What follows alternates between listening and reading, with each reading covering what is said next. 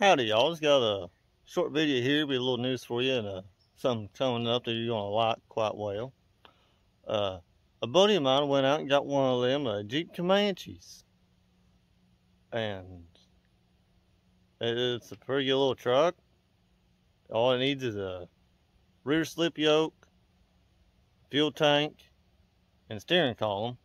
I think there's something else. And we'll be able to put her on some trails and see what she's made of.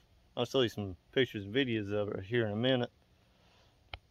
So that, that'll be on the channel here soon. Just want to give you all an update on that, get you all excited for that. If you're uh, excited to see it, uh, like and subscribe because you will see it soon.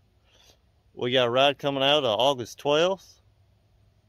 Or uh, hopefully my Jeep will be running by then, and hopefully the old Comanche will be uh, up to par to come join us and play out at Rush for its first time. Now, sadly, uh, my buddy had to get rid of a nice Jeep, his woman's Jeep. I'll show you the pictures of the Jeep he traded for it so you know which one I'm talking about. But uh, I'll uh, throw the video on over to him and he can tell you more about it.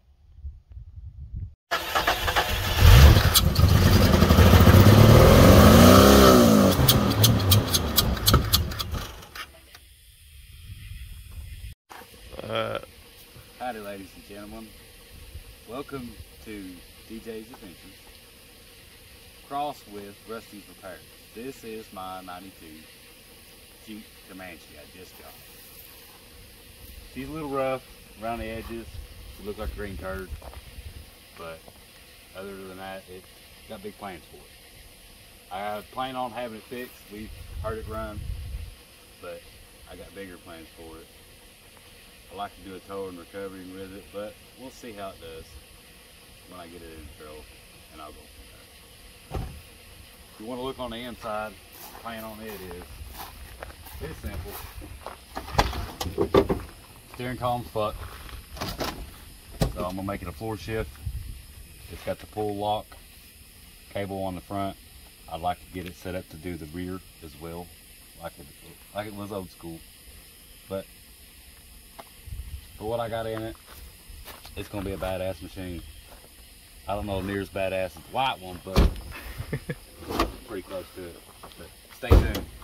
It's about to get really interesting. And if you look right here, got a little bit of Rusty's on it, along with the long travel.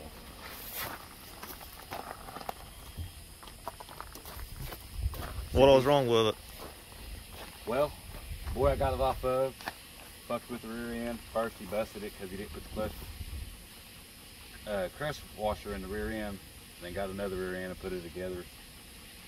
And uh, in the process of playing with it, he broke the yoke, SYE yoke, off the transfer case. So in the process, I'm gonna get that, get it fixed. Get a gas tank, get a new sending unit, put in it, steering column, full shift. Do the two-step like Drax did on his Jeep. Do some interesting things to it, but there's what he did to it. So now it's up to me to fix the fuckery. Stay Stay tuned. You'll see it on the trail soon, I'm sure.